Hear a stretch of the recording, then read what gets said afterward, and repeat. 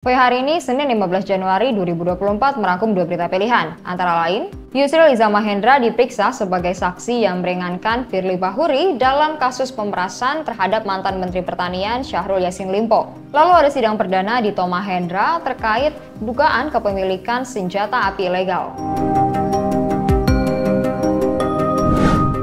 Pakar Hukum Tata Negara Yusril Iza Mahendra menjalani pemeriksaan kurang lebih selama dua setengah jam oleh penyidik di Ditipikor Bareskrim Polri, Jakarta Selatan pada Senin 15 Januari 2024. Yusril menyebut dirinya telah mempersiapkan segala keterangan sebelum diperiksa oleh penyidik.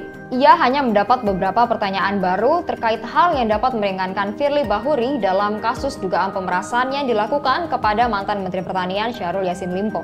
Yusril Iza Mahendra diperiksa di ruang pemeriksaan di Tipikor Bareskrim Polri selama dua setengah jam oleh penyidik. Yusril memberikan keterangan sebagai saksi ahli yang meringankan dalam kasus dugaan pemerasan mantan Ketua Komisi Pemberantasan Korupsi Firly Bahuri terhadap mantan Menteri Pertanian Syahrul Yassin Limpo. Dia menyatakan terdapat sejumlah hal yang dapat meringankan kasus Firly. Salah satunya ialah pengabdian Firly sebagai polisi selama hampir 40 tahun yang bisa dijadikan sebagai poin pertimbangan yang meringankan kasusnya. Yang beliau lakukan selama ini sebagai uh, polisi ya yang lebih kurang 40 tahun berdinas di Polri dan kemudian hampir tiga tahun berdinas di KPK dalam upaya penegakan hukum dan itu harus kita hargai dan karena itu harus dipertimbangkan juga sebagai satu faktor yang meringankan dan Pak Firly pun selama ini sangat kooperatif dengan uh, penyidik ya untuk uh, diperiksa dan setelah secara terbuka menerangkan permasalahan-permasalahan yang terkait dengan uh, dua dugaan tindak pidana pemerasan dan Eh, gratifikasi dalam kasus Pak Yasin Limpo. Apakah hukumannya bisa diringankan? Mengingat Firly Bahuri adalah seorang mantan ketua Komisi Pemberantasan Korupsi yang diduga melakukan pemerasan. Selanjutnya, Pengadilan Negeri Jakarta Selatan menggelar sidang perdana terhadap terdakwa Dito Mahendra atas kepemilikan senjata api ilegal.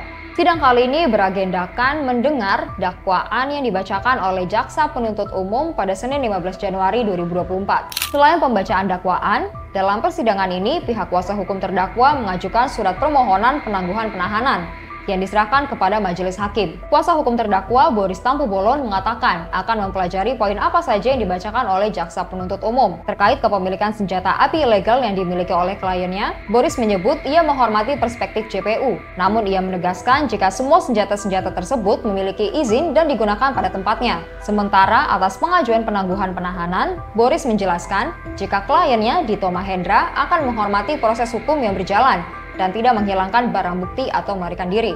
Ya sebenarnya poinnya adalah kita tentu akan pelajari poin-poin apa saja yang bisa menjadi celah untuk kita ajukan eksepsi. Tapi pada prinsipnya yang kami mau sampaikan adalah pertama klien kami menghormati proses hukum. Oke. Okay? Jadi kita akan ikuti proses hukum sesuai dengan aturan yang berlaku. Yang kedua adalah eh, yang kami soroti di sini, tentu kami hormati perspektif penuntut umum kalaupun dibilang ada senjata yang tidak memiliki izin, tapi kalau dari sisi kami itu semua ada izinnya. Tinggal nanti kita buktikan di persidangan dan hakim yang akan nanti putuskan. Yang ketiga adalah tentu kalau dibilang kepemilikan senjata api ilegal, kita harus lihat sifatnya juga. Apakah ini aktif atau tidak? Apakah kemudian senjata ini ada record dipergunakan untuk hal-hal yang melanggar hukum atau enggak? Karena perlu diketahui klien kami ini itu hobi menembak. Dia punya senjata itu dipakai di tempatnya gitu. Ibarat orang bertinju, dia nggak bertinju di jalanan, tapi di ring gitu. Sudah jatuh tertimpa tangga pula, kira-kira inilah yang dirasakan oleh Dito Mahendra saat ini. Setelah terkena kasus dugaan korupsi dan pencucian uang, sekarang terjerat lagi kasus dugaan kepemilikan senjata api yang tidak berizin. Demikian Poi hari ini, nantikan berita lainnya. Jangan lupa subscribe YouTube Poi dan follow Poi.id di Instagram dan TikTok. Sampai jumpa.